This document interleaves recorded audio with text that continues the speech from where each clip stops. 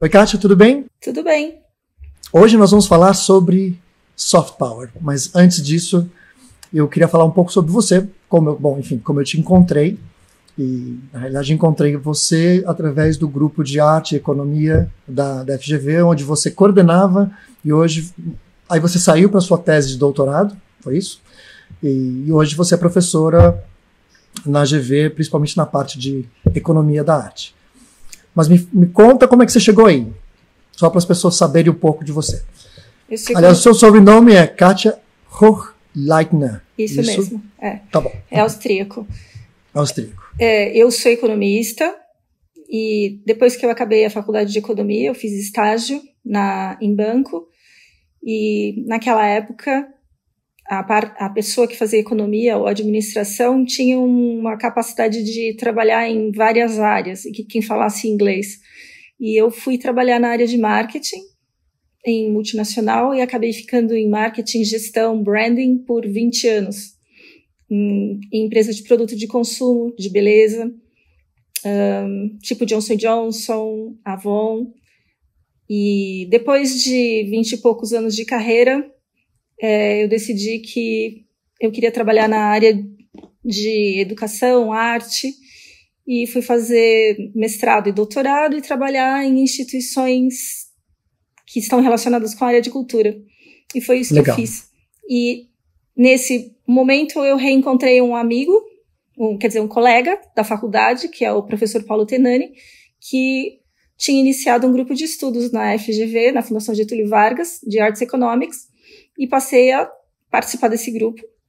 E em determinado momento passei a coordenar esse grupo.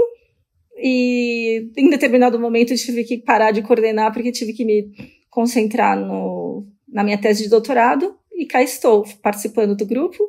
E acabei minha tese de doutorado.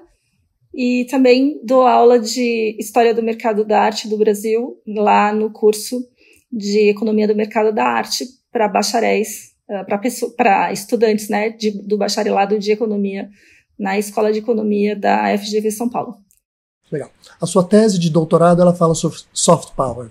Isso. Me explica um pouco o que é soft power. Soft power é, primeiro quer dizer em português, poder suave ou poder brando. Tem autores que usam uma expressão e outros autores usam outra expressão.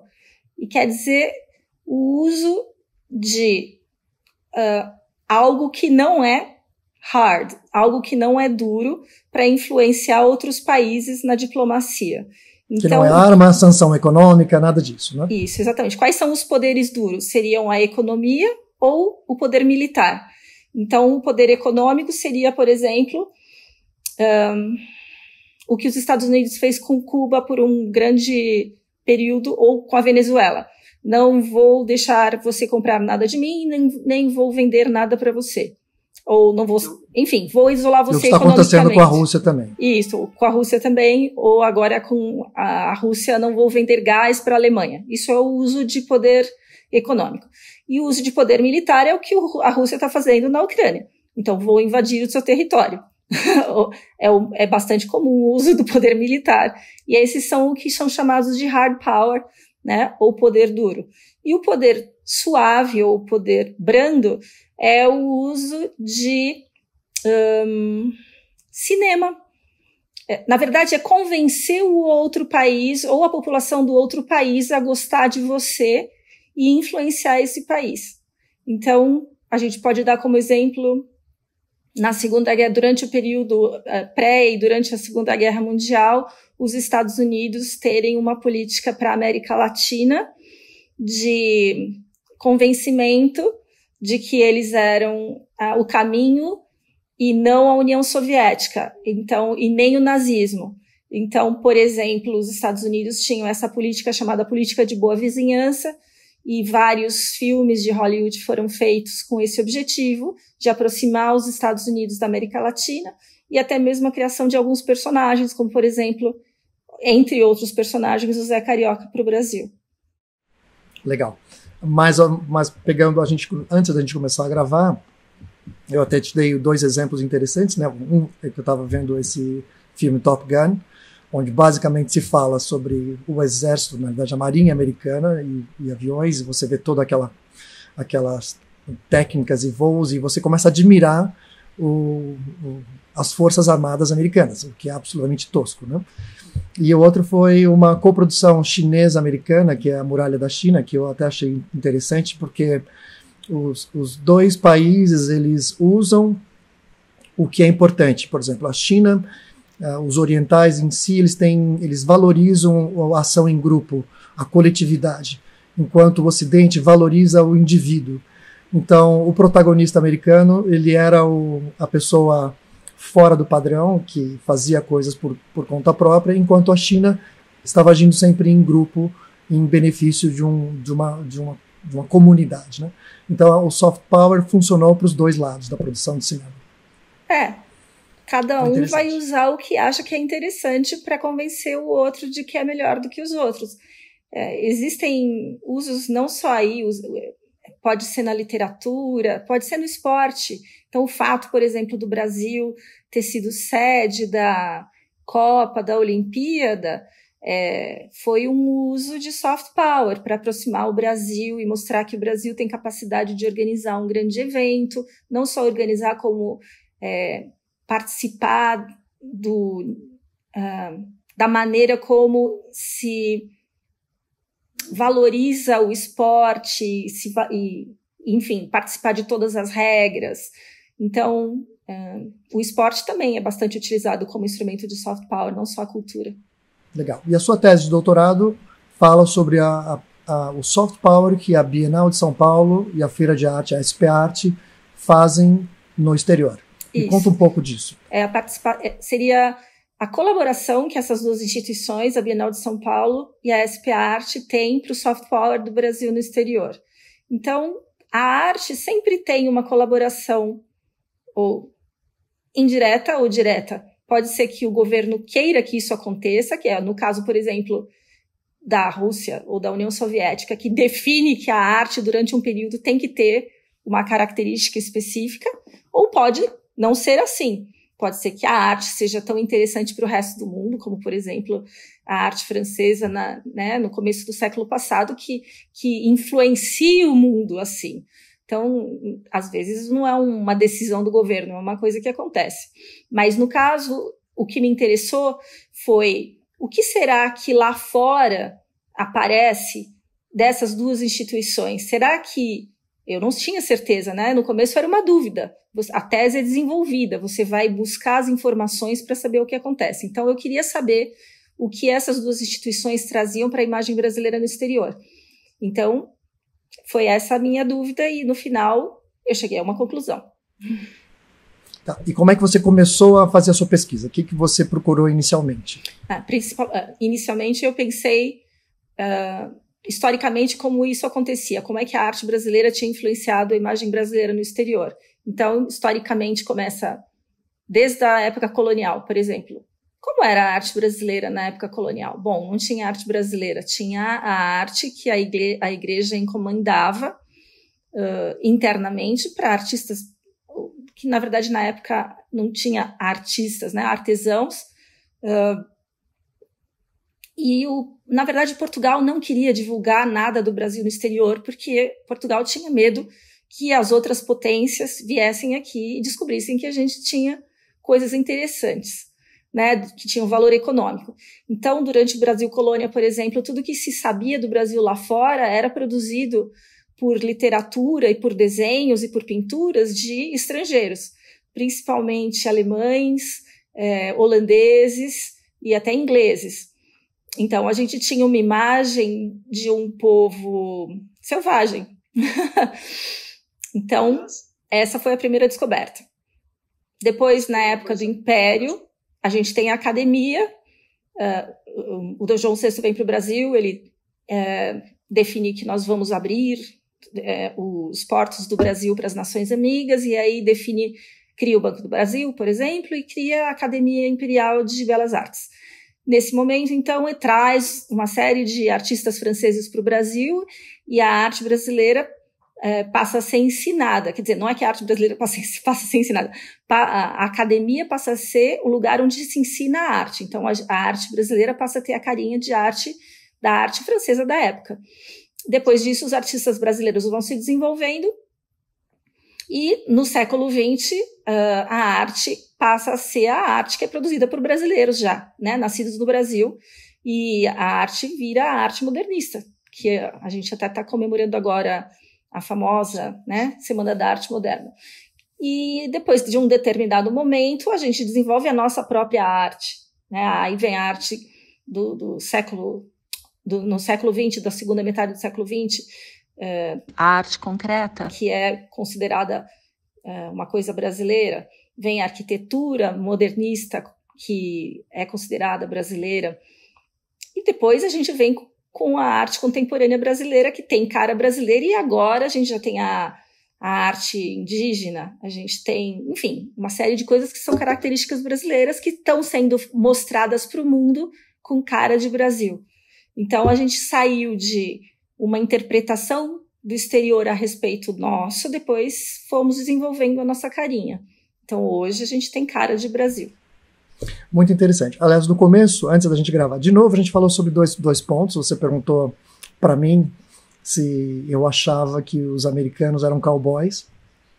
E, obviamente, você fez uma provocação, e aí eu falei o que eu achava, que eu achava que o centro-americano era composto de mais uh, a expressão rednecks e que os intelectuais se concentravam uh, nos extremos, na, na, na, região leste e na região oeste.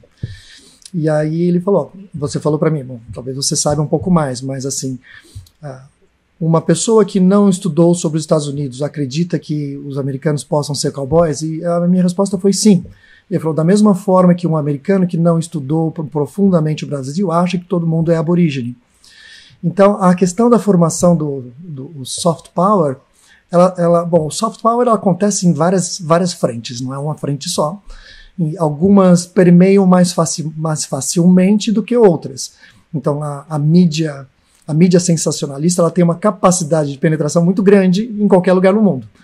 Então, a, a mídia sensacionalista de, de, do Brasil, ela atinge uma grande população americana, enquanto as pessoas mais eruditas, talvez, elas conheçam e elas não se deixam atingir pelo sensacionalismo e estudam uh, o que seria o soft power mais acadêmico ou mais intelectualizado.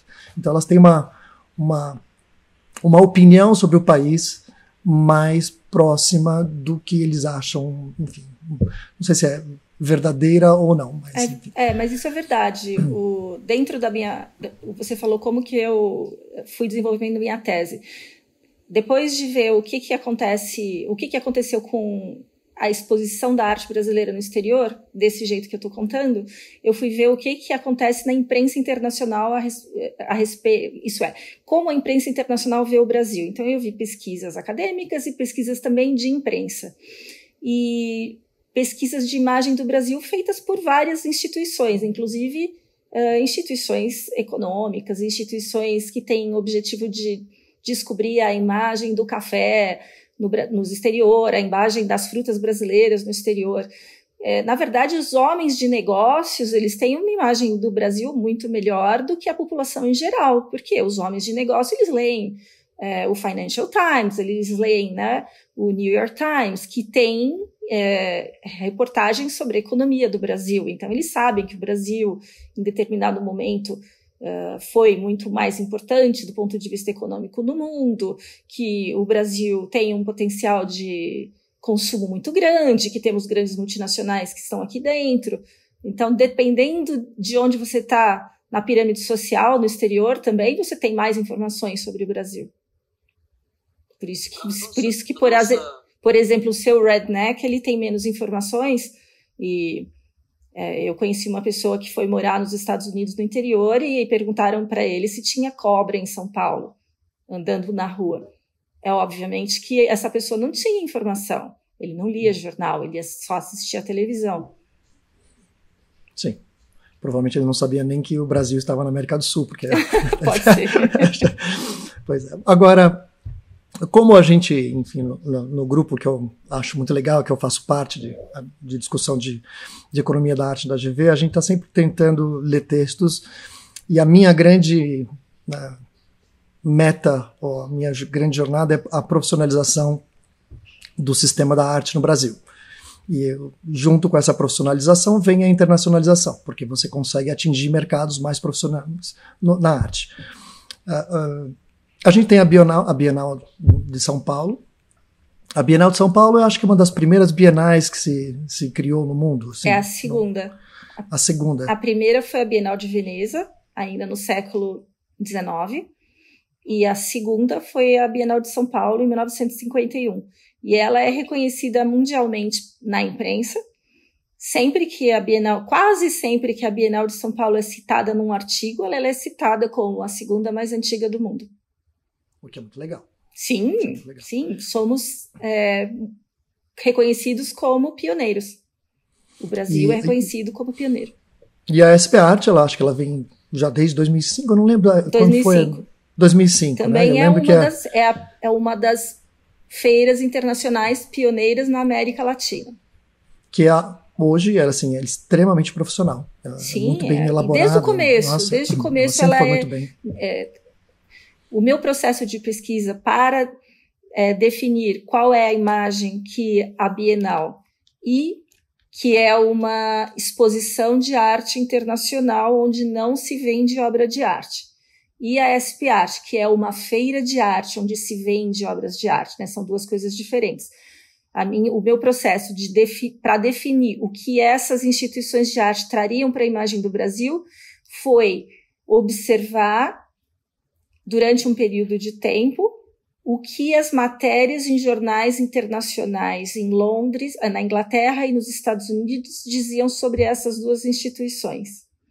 Então, sobre essas duas instituições, primeiro lugar se diz pioneirismo, em segundo profissionalismo e em terceiro o fato de elas se manterem vivas e em crescimento constante. Então são três aspectos muito importantes que trazem as, as duas instituições para a imagem do Brasil. Muito legal, super positivo isso, né? Sim. E eu lembro que você também você fez uma análise do que foi positivo e o que foi negativo para a imagem do Brasil. O que é mais negativo para a imagem do Brasil? Uh, você está falando na imagem do Brasil ou que essa. Na imagem do Brasil, desculpa, ah, não nas na, feiras. Na imagem do Brasil? É, eu quero deixar sua vida mais fácil para responder. tá bom. o, que, o que a gente tem de mais positivo na imagem do Brasil é a, o bom humor, a alegria um, e uma imagem relacionada com lazer e turismo. E o que a gente tem de mais negativo é corrupção, é instabilidade política. Acho que são essas duas coisas as mais negativas. Então, o fato dessas duas instituições serem profissionais e perenes, digamos assim, trazem exatamente um contraponto a essa questão da instabilidade política e da corrupção. Elas são instituições vistas como muito confiáveis. Muito legal.